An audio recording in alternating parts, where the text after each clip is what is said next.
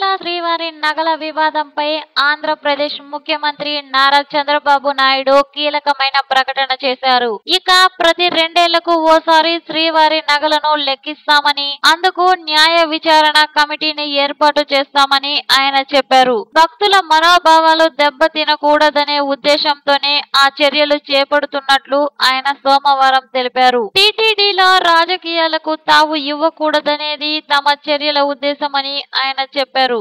ఆగమ శాస్త్రం ప్రకారమే కొండపై అన్ని కార్యక్రమాలు జరుగుతున్నాయని చెప్పారు. ప్రతిపక్షాలు చివరకు దేవుడికి కూడా వదలడం లేదని ఆయన అన్నారు. లేని నగల గురించి వజ్రాల గురించి మాట్లాడుతున్నారని ఆయన చెప్పారు. ఇదిలా ఉంటే శ్రీవారి ఆభరణాలు భద్రంగా ఉన్నాయని తెలుగుదేశం పార్టీ శాసనసభ్యుడు బొండా ఉమామహేశ్వరరావు అన్నారు. రమణ దీక్షితులు తాను చేసిన ఆరోపణలను నిరూపించాలని లేదంటే క్షమాపణ చెప్పాలని టీటీడీ చైర్మన్ పుట్ట సుధాకర్ యాదవ్ సవాల్ చేశారు.